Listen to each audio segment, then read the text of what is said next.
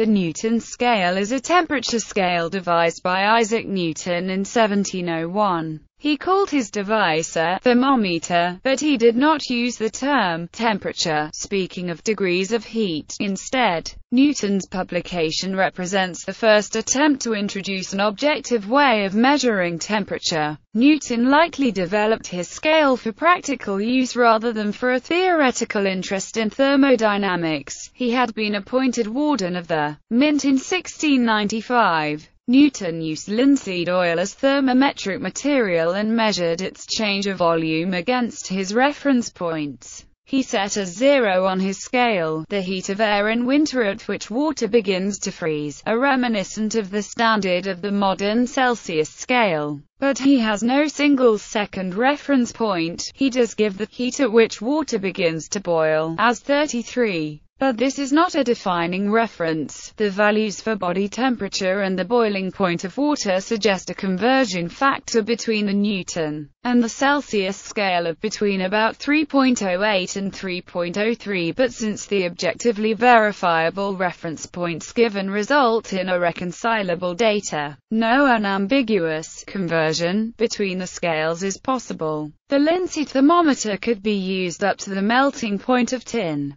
For higher temperatures, Newton used sufficiently thick piece of iron that was heated until red hot and then exposed to the wind. On this piece of iron, samples of metals and alloys were placed, which melted and then again solidified on cooling. Newton then determined the degrees of heat of these samples based on the solidification times and tied this scale to the linseed one by measuring the melting point of tin in both systems. This second system of measurement led Newton to derive his law of convective heat transfer, also known as Newton's law of cooling. In his publication, Newton gives 18 reference points, which he labels by two systems one in arithmetic progression and the other in geometric progression, as follows.